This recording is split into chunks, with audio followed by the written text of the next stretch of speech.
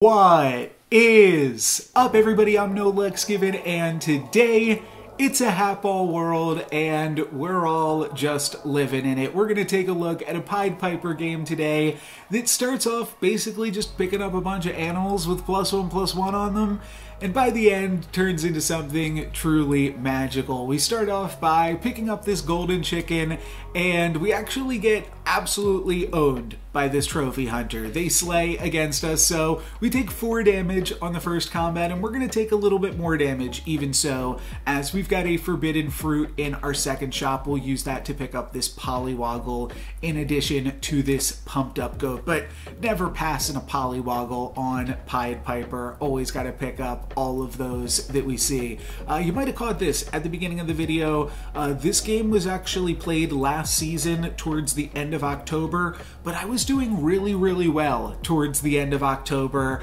and almost wind up cracking into the top 100 of gamers. And then uh, I tried harder to get into the top 100 and wound up falling down the leaderboards a little bit, uh, but very, very close. And uh, that felt great as I was saying previously, because uh, all of this was post heart attack stuff, and obviously I had a little bit more free time to just be playing Storybook Brawl, wasn't really doing anything else, but um, it was it was nice that I felt like I could still do it. I could still hang with the big boys and compete and uh, play the game pretty well. So was pretty excited for that. Uh, just for some some context and and to talk about some some personal stuff there. Um, yeah, doing well with all of that stuff, I think, and uh, just trying to improve. Just started some physical therapy and uh, been trying to eat better every day and, and watch all that, losing a little bit of weight. You can't really tell because I've been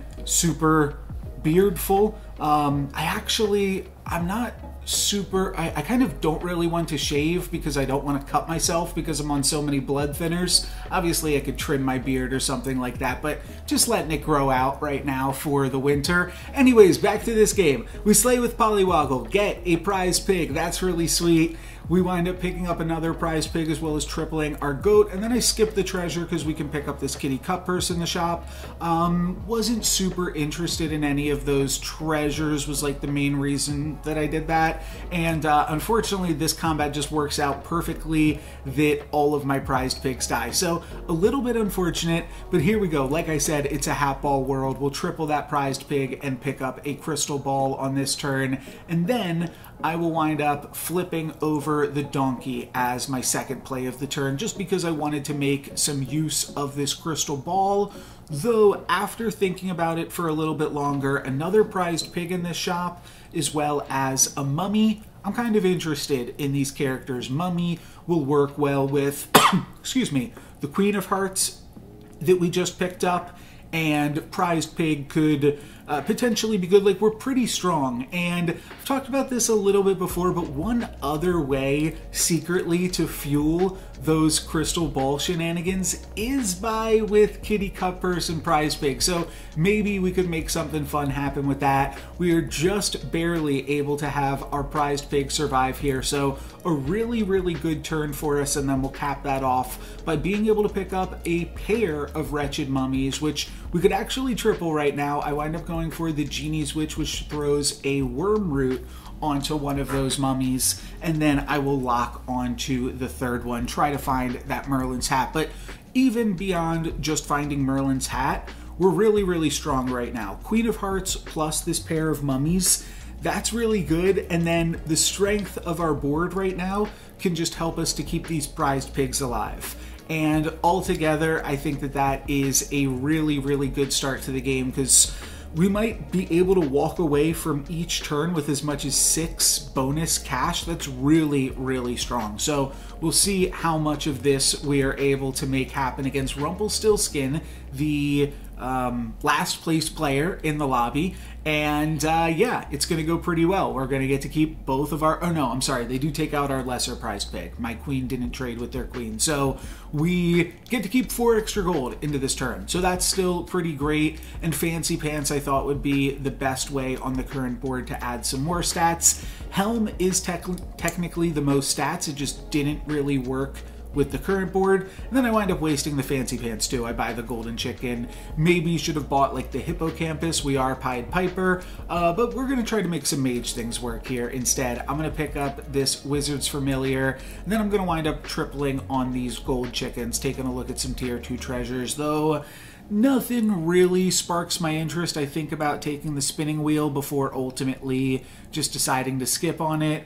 Uh, we've got enough gold generation here with these prized pigs, though part of the reason that I skipped, to be totally honest, was so that way we could pick up this reckless wager and really bet on ourselves. Again, we're playing up against one of the lower players in the lobby, so I felt like pretty good about my chances to win this, and we are going to be able to do so. We'll actually get a win with our reckless wager and have both of our prized pigs survive, so nine bonus gold on this turn. Let's see what we can do with that though. Um, I'm definitely looking for some more triples. We've got Queen of Hearts here, and then I'm also interested in Spellweaver. We'll throw our plus three, plus three on that. And yeah, that's a great addition to this board. I'll pick up another prized pig because that's a triple, and now I'm looking for Queen of Hearts and prized pig. Not gonna worry about the polywoggles on this one. We triple the Queen of Hearts, which gives us Eye of Ares. Nothing super impressive on that.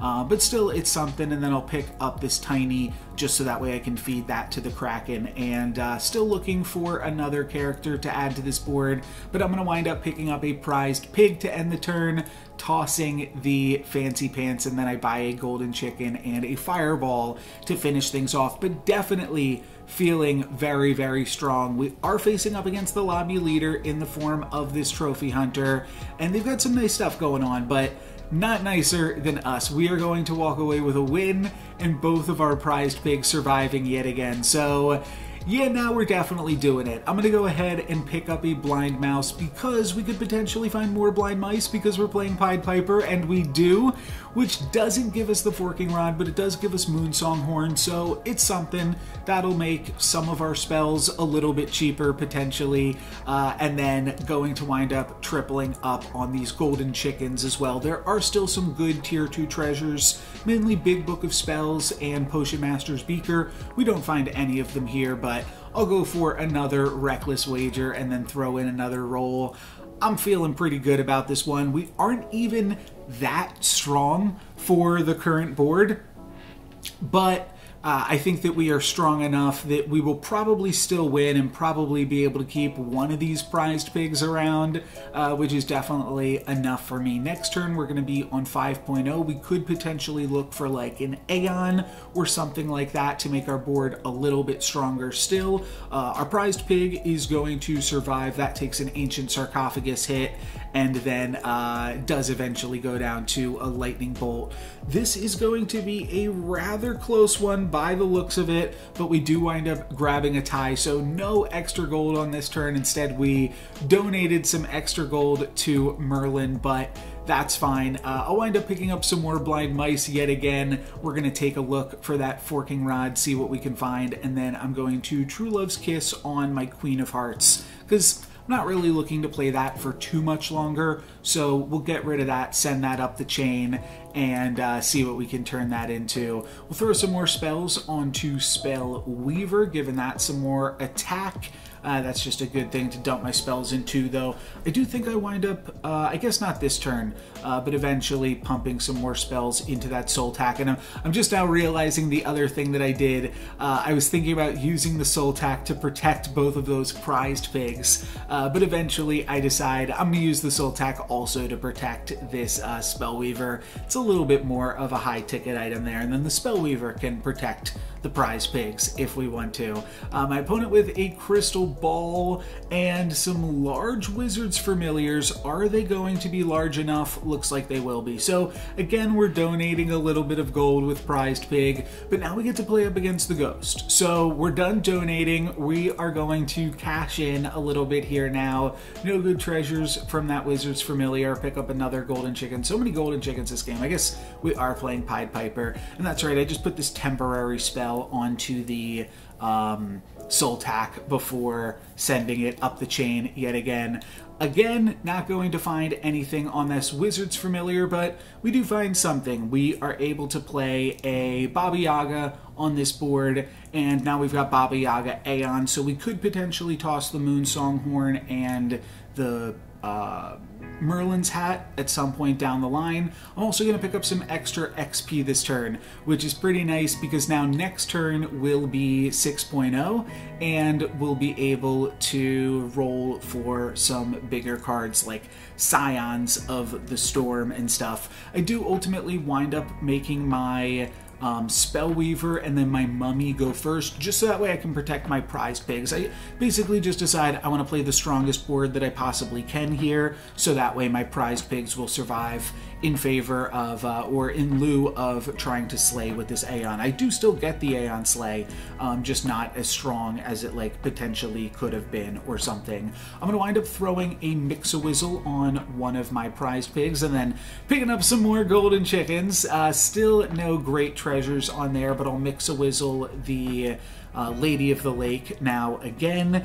then I throw a shard of the Ice Queen on the Baba Yaga. I'm actually not totally sure why I did that, but my spells are cheap enough that I guess it probably doesn't really matter. That gives me an Ashwood Elm, and we'll throw that in the front line here. Then I'll put this prize pig back in because I got nothing else to play. I'll wind up rolling down a little bit, and at this point, I'm not looking for blind mice. I'm really looking for Aeons to um, try to triple and then grab a tier 7 treasure from those. And I will end my turn off by using a uh, gingerbread house there just to make my shop and board a tiny bit bigger.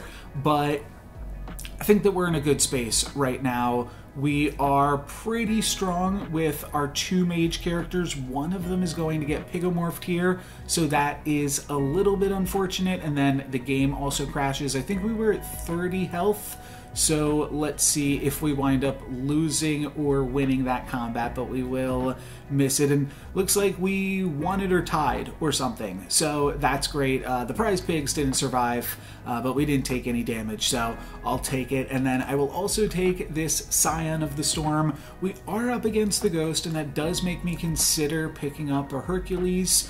Uh, but ultimately, I just decided I don't want to waste that much gold on picking up a Hercules. I also did roll past a Lancelot plus Queen's Grace or Blessing, Blessing of the Queen, Queen's Blessing, whatever that spell's called. Um, so, yeah, potentially uh, lost a chance at a tier 7 treasure there, but I'll either try to triple this Aeon or Scion of the Storm. And again, playing up against the ghost, I'm going to get a little bit greedy. We're going to play both of our prized pigs yet again up against the ghost and we'll see how this one works out. Probably could have played the mummy too instead of the Aeon, uh, but I think it's all going to work out. Our Cupid is going to turn into a pig by the looks of it but I think we have enough stats in the form of our uh, mages here, our large mages in the front, and then our ranged mage in the back. So yeah, we're going to survive with all of this prized pig gold, 20 gold here as we're rolling down on the turn. So pretty nice stuff. I'm going to wind up going for another Mix-a-Wizzle on a prized pig, and then, nope, that's not a monster. That one is, though, so we'll throw the Wormroot on that mummy, and then we pick up Scion of the Storm. We still have 10 gold for the turn, so feeling pretty good, though I'm not going to go for the Knighthood. I just felt like it would be better to ultimately try to triple these Scions of the Storm, grab a tier 7 treasure, rather than uh, just wasting 9 gold and grabbing an upgraded one. We grab a Burning Beard, and then I wind up selling off my Golden Chicken because I really want to transform this Burning Beard and lock it in. And we wind up finding a Shard of the Ice Queen to end the turn off. So that's really great. I'll get to keep Boomhilda as an upgraded tier 6 character. That was a prized pig at the start of the turn, so feeling pretty good about that Mix-a-Wizzle chain there, and uh, potentially could have switched around the Cupid and the Wizard's Familiar. Uh, I don't know. Then my Cupid winds up, or my Wizard's Familiar winds up taking out my Cupid anyway, so uh, maybe that was better. I'm not even super sure. My opponent's Pumpkin has some nice things inside, but we are able to take out the Medusa there, and then we just have to dodge this Siren attack and it attacks into the Wizard's Familiar. That was a really, really close one, but we're able to take out the Merlin there ultimately. So pretty good stuff. And now we are going to Mix-a-Wizzle Prized Pig again. It worked out for us last turn. Maybe it'll work out again for us on this one. Who knows? And then we're also looking for a Scion of the Storm Triple. I'll Mix-a-Wizzle that again. And then I will throw in a Drink Me Potion. Should have used the Witch's Brew before I used the Beauty's Influence. Small mistake, but what can you do? And then I wind up finding a True Love's Kiss, and I'm able to send this all the way up the chain into an Oni Tyrant, which is temporarily a um, Echo Wood here, but next turn it'll turn back into an Oni Tyrant, and then I'll lock onto this Scion of the Storm triple. That'll give us that tier 7 treasure. Eventually, just in time potentially for the finals, it looks like this Trophy Hunter has fallen off a little bit at this stage of the game. They're really just playing copycat. They're not even really playing Trophy Hunter shenanigans, but maybe that Friendly Spirit could land and, and do something nice. They're going to get a bunch of pigs, which is kind of cute, and that Monster Book is the chance to slay up against Cupid. It's not quite large as well, but it's going to miss the slay, so only two spells. Uh, yeah. Uh, pretty easy to uh, take down that trophy hunter there. Now we're on to the finals, and like I said, it is a hat ball world we're going to be picking up World Tree. That might even be in the thumbnail as well, who knows. But now we get to make use of this Oni Tyrant, and of course, I'm going to pick up a Good Boy when we are playing with World Tree. Good Boy does have some synergies already currently on the board. First off, we just turned everything good, and also it works with the Oni Tyrant. It'll get plus 26, plus 26 when it attacks, but the other cool thing that actually makes Hatball World a real combo is everything gets a buff when I cast a spell because of Aeon. So that's pretty cool as well. Everything got uh, a little bit of extra stats here. Not too much as we only have one non-upgraded Aeon, um, but there's not too much time left in this game either. We just picked up a World Tree we're looking significantly bigger than my opponent now. I mean, they're looking big too. Um, we're just looking bigger uh, once that good boy gets in. And uh, don't even really want another Scion of the Storm. Just want more things to go along with this good boy, like another good boy maybe. So we'll pick that up, we'll bench the Aeon, and that's still cool because it still does what it needs to do while on the bench. And then we throw a few more spells on the good boy to end out the game. And because this is looking like potentially the final turn, I sell my Cupid and try to throw in one more roll to see if we can find anything else just winds up being a healing potion. But still, the healing potion gives us a little bit more stats on these good boys because of the Aeon, like we said. But really just, I mean, double good boy plus Oni Tyrant here. That's all you really need to know. We're going to have a pretty strong board going into the finals, and I think are going to be able to find the win here. So, um, yeah, we just need uh, the back line to survive, really, and uh, that's pretty good. So, pretty nice one.